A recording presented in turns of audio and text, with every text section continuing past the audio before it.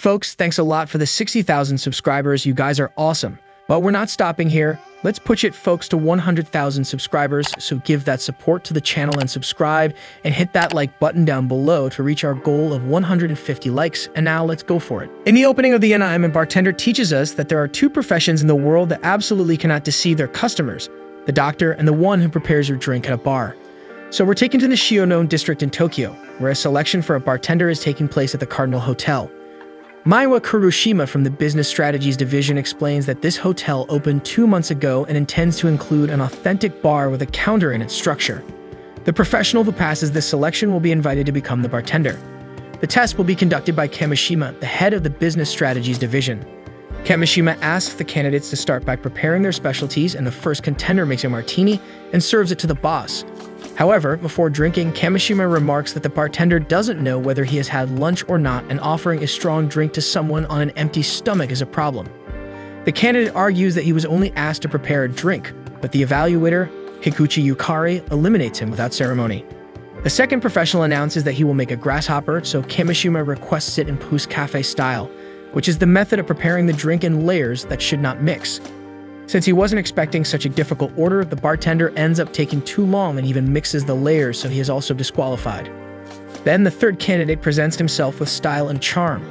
Kamishima asks him the idea to call this clumsy person and Yukari, who begins taking photos of the barista nonstop, admits that it was her, because this guy is the bartender of the moment. After the selection, Higuchi complains that boss Kamishima is always so grumpy, and that all the candidates got angry with him while Mango remembers that the hotel has already gained their reputation, but until today, nothing has been done to open this bar because hiring a bartender is proving to be a nightmare. In fact, Maiwa is already getting as grumpy as the boss from doing all these tests with him, and so she feels jealous of Yukari, who manages to keep a bit of humanity in the midst of all this chaos. Yukari responds that she is also under pressure because of this selection and believes that it will still last a long time because the boss's requirements are too vague and you value some irrelevant details for the test. For example, the hotel president stated that he is looking for a bartender capable of preparing a divine goblet, and surely the door of this bar will remain closed until they figure out what that term means. Maiwa agrees while pondering what this blessed goblet could be, until the phone of a man sleeping on the bench next to them rings and he wakes up in a hurry. But strangely, he has no idea how to answer the call, so he asks Maiwa for help, who teaches him to drive the green icon to the right. He answers and talks to a Mr. Mackey while moving away. The two women find this man somewhat strange, but they see that the book he was reading was about the bars of Tokyo. And so they try to call him back to see if, by any chance, he was the solution to their problems, but he had already disappeared by then. Upon opening the book, they discover that it was borrowed from a library. Back at the Cardinal Hotel, Boss Kamishima informs the president that all 30 candidates who participated in the process have been eliminated. In turn, the president believes that if it were easy, they would have already found the perfect bartender, but the business boss asks him to explain what this divine goblet is because the criteria seem too subjective. So the president adjusts himself in his chair to tell what the heck that is. After the meeting, Kamishima tells the girls what the divine goblet means and Yukari asks how they are going to find it. Maiwa is fed up with this whole process because looking around, only they are stuck with the service while the other employees are moving forward with their projects normally. Because of this, Boss Kamishima gives one last push to the girls and motivates them to find this bartender once and for all. Researching every bar in Tokyo, Yukari and Miwa search for the perfect barista, trying the drinks of every place they pass by and taking the opportunity to photograph the most attractive professionals in the process. However, drinking a beer at the Ogura bar near the Sumida River, Yukari discovers that human resources won't cover the expenses of searching for the candidate, so the two will have to pay for everything they consume today out of their own pockets. Inconsolable, Miwa leans on the counter, and the owner of Ogura asks if they are still looking for an employee for the hotel bar. Miwa confirms and asks if he knows anyone capable of making the divine goblet, but to the surprise of both, the man affirms that he does. In this case, it's him because only a god could keep this place open until late. However, the two are not in the mood for jokes at this point and start grumbling with the bar owner. Until that man from the park enters and orders a highball. Upon recognizing the women, he asks if they saw the book he left behind, and Miwa says she doesn't have it now, but she can return it directly to the library because it's close to the office. The guy thanks her enthusiastically and says there are still good people in Japan, until this drink finally arrives. Miwa says the highball is too weak and asks if the bartender is short on whiskey, but he argues that she's taking too long to drink it, and so the ice is already melted. Later, he reveals that the guy who just arrived is also a bartender, by chance, and Yukari sees it as a sign from destiny. The guy was thanking the colleague beside him for covering for him another day, and the colleague responds that everyone forgets their wallet once in a while. The guy agrees as he takes out his wallet from his pocket, but when he realizes he forgot to take out money to pay for his drink, the two give up interviewing this poor man for the job. The next day, the duo discovers that a young man named Sasakura won a European bartender competition, and that he currently works at the private bar Edenhall inside the Ginza building. Kamishima remembers that this bar closed, but Yukari saw in an article that said the private bar with an irregular schedule has finally reopened. Meiwa finds it strange for such a talented professional to be hidden inside a private bar, but the two agree that it's worth a visit as long as they are reimbursed for expenses. In light of this, boss Kamishima grumbles but hands over some cash to the duo. As dusk settles in, they manage to reach Ginza building reminiscing how they often walk down this street but never heard of this Edenhall bar. Stepping through the door, they encounter two men drinking in an extremely calm and pleasant atmosphere. One of the men alerts Sasakura that two customers have arrived, and then the bartender emerges, revealing himself to be the park guy. This time, Sasakura behaves in a completely different manner from what they're accustomed to, displaying formality and elegance.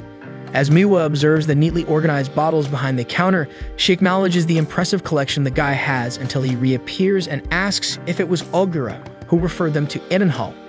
Yukari mentions finding great reviews of the bar online, praising an excellent bartender. Sasakura is pleased with what people are saying about him on social media, but Maiwa wonders if he's really all that. Suddenly, one of the customers orders a grasshopper a La Pousse Cafe style, and since this drink eliminated yesterday's second candidate due to its difficulty, the girls pay close attention to what unfolds. Calmly, Sasakura meticulously layers each component of the grasshopper, then presents the flawless work to Edenhall's customer. Yukari times 30 seconds for the preparation on her stopwatch, unlike the eliminated candidate's 1 minute and a half. To revamp yesterday's test, she then orders a martini, but with her stomach growling, Sasakura realizes she's on an empty stomach and suggests a lower alcohol beverage. Yukari tells Miwa he passed that test, then eagerly requests a light, shaken, pink-colored drink. Without hesitation, Sasakura understands the request and adds all the ingredients to the shaker. As he starts shaking, Yukari swoons over the way he uses his fingers to mix the drink, and in no time he has prepared a cosmopolitan for her. With the first sip, Yukari reacts as if she's tasted the elixir of the gods, yet Maiwa remains skeptical. For this reason, when the bartender asks if she's decided on her drink, Miwa asks him to prepare a drink he thinks suits her best, even though he knows nothing about her life, intending to put the pressure on him and see how he fares. Unfazed by the challenge, Sasakura complies and carves two ice cubes like sculptures, delicately placing them in the glass and removing the residual water from the bottom after checking the ice's consistency.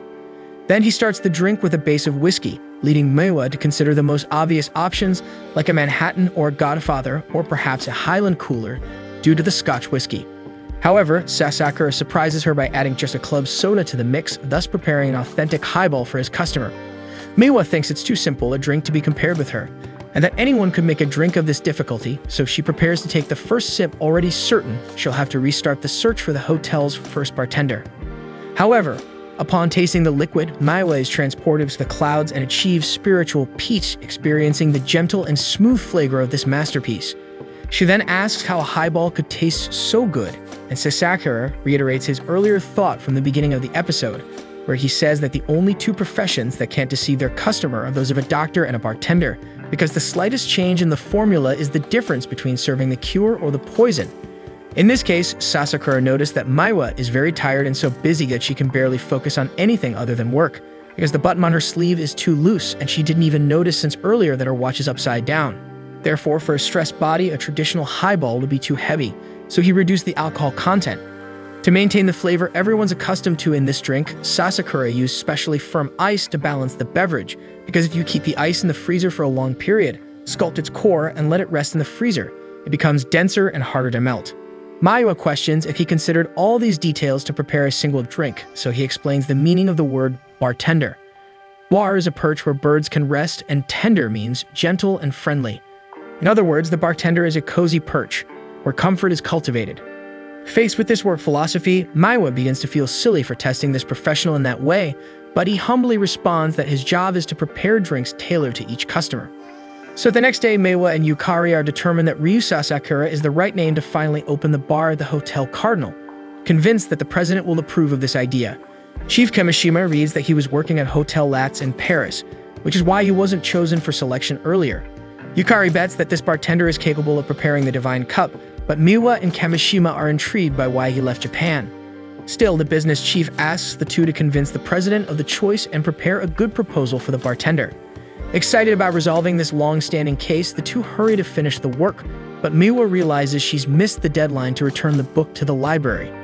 Meanwhile, in the outskirts of Tokyo, Ryu Sasakura gazes steadily at an empty plot of land with a strange expression. Returning to the exit of the bar last night, Miwa is sure that he's the right guy, while Yukari questions how they're going to convince him to work at the Hotel Cardinal.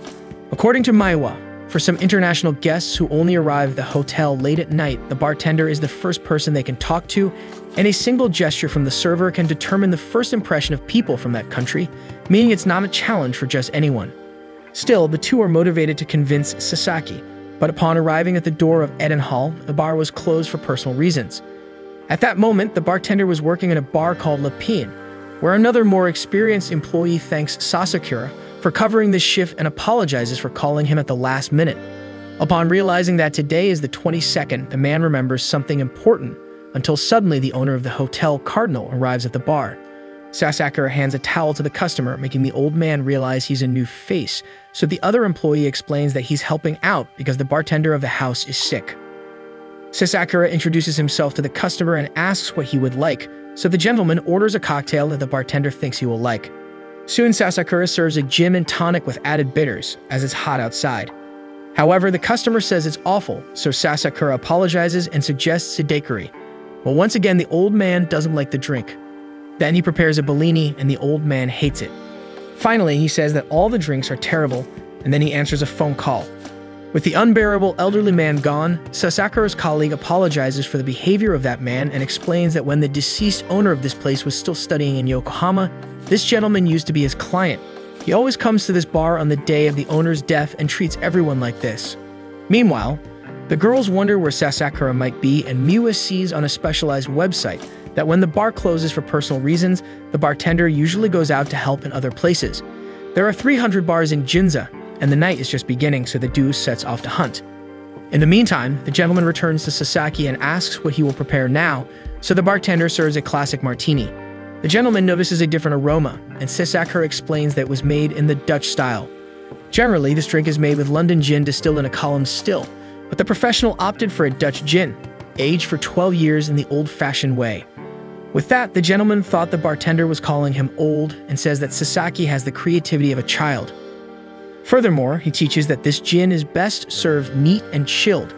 Without losing his composure, Sasaki comments that the customer really knows a lot about the subject, but he continues grumbling that if the owner were still alive, he wouldn't be forced to drink this crap. At least he admits that Sasakura made an effort, but then he hands a bill to the bartender and tells him to bring sake from the corner vending machine, disregarding the employee's drinks. Later, Sasakura goes to drown his sorrows at Bar Ogura and ends up revealing how terrible his day was. The owner thinks he was talking about the drink, but Sasakura explains the situation and asks how he reacts when a customer says the drink is terrible.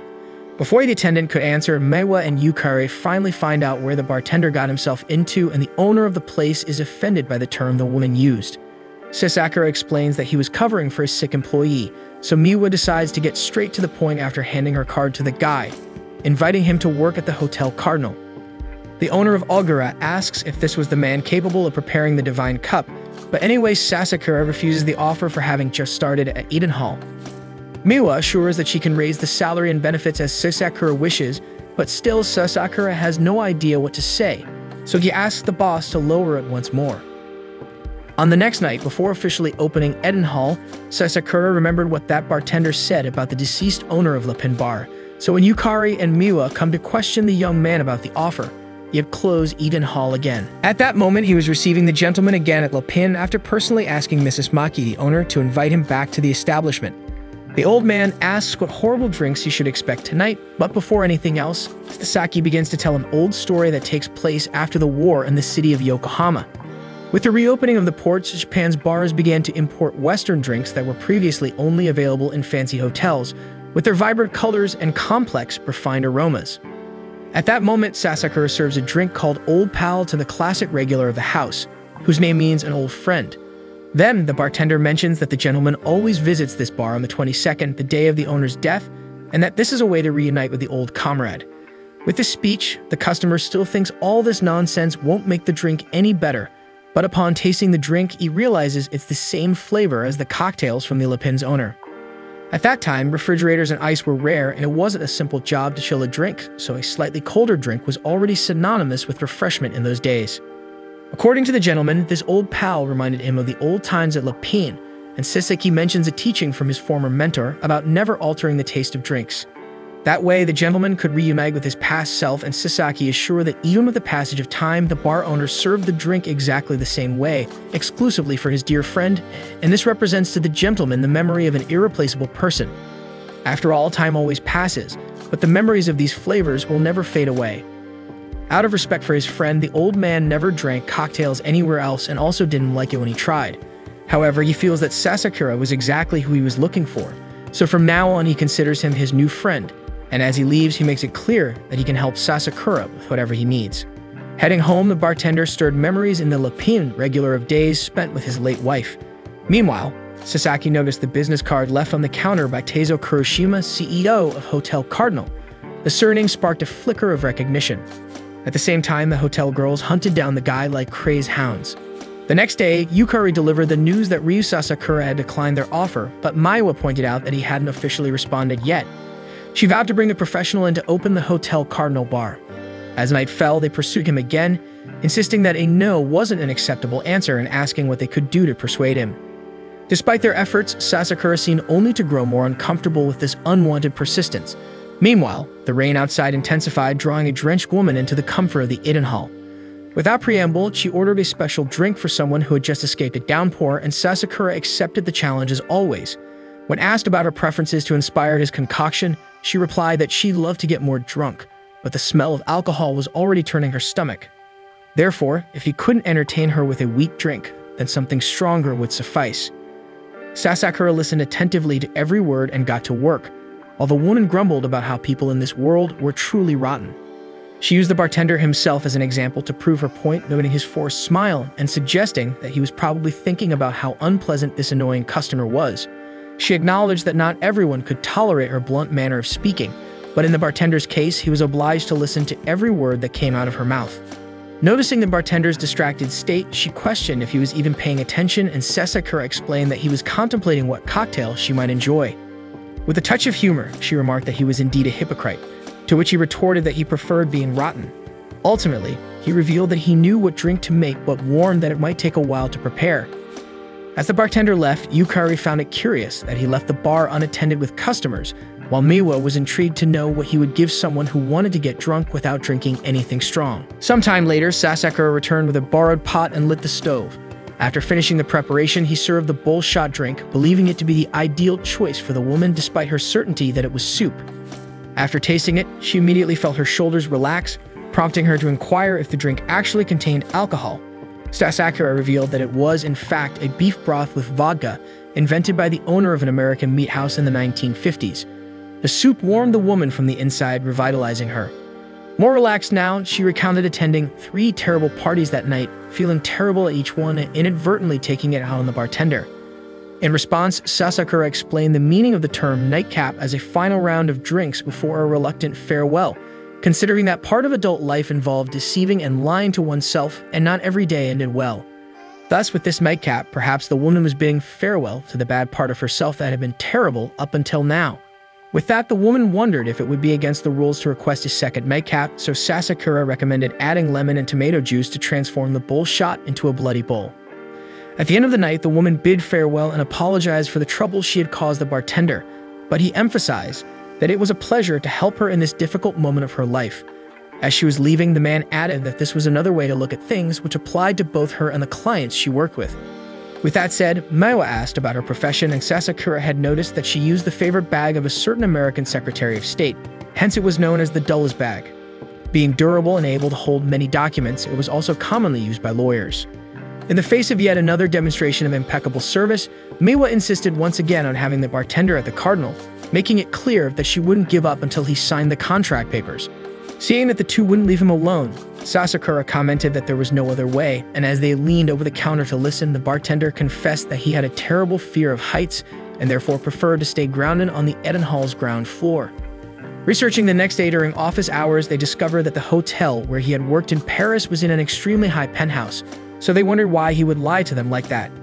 At that moment, even President Kuroshima called and announced that he wanted Ryu Sasakura at the hotel bar, so they realized they had no option but to proceed. Meanwhile, the lawyer from yesterday asked Secretary Yajima about today's schedule, which included an inventory, a custody hearing, and two divorces. The woman was infuriated by how everyone only thought of themselves all the time, but also remembered that they needed her help trying to see the situation from another perspective. So she asked if Yajima had heard of a bull shot.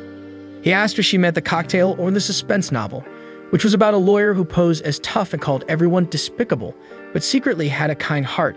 With that, the woman laughed and invited her friend to have one after work at a nice bar she knew, despite the bartender being quite despicable. Hey folks, we're kicking off the new anime season, and if you enjoyed this anime and want to see more of it, go ahead and hit that like button down below. And don't forget to subscribe to the channel. We need your support to reach our goal of 70,000 subscribers. Every subscription counts and helps us grow our community. Catch you next time.